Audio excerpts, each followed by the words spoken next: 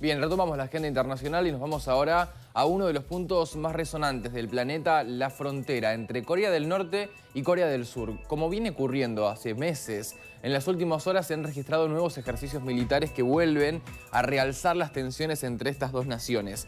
Tenemos en imágenes ahora las labores de infantes de Marina de Corea del Sur en estos vehículos blindados, anfibios, que desembarcaron bajo las armas de buques de guerra que estaban patrullando esta zona el día miércoles como parte de los ejercicios militares a gran escala que, según los organizadores, eran necesarios para prepararse ante cualquier amenaza de Corea del Norte. Esto ocurre del otro lado, no lógicamente, en Corea del Sur.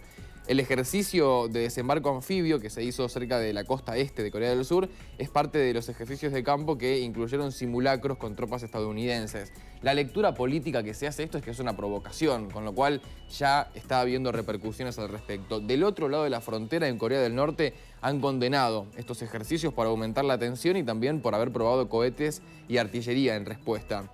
¿Qué pasa con Estados Unidos y Japón, que son también elementos claves en esta pieza? Bueno, advirtieron que eh, se van a justificar estos ejercicios en una escala de respuesta sin precedentes si Corea del Norte lleva a cabo una séptima prueba de bomba nuclear, que lógicamente Washington y sus aliados creen que eh, podría, podría reanudarse, especialmente en el liderazgo de Pyongyang, que tiene como objetivo volver a poner en marcha estos simulacros por primera vez desde el año 2017.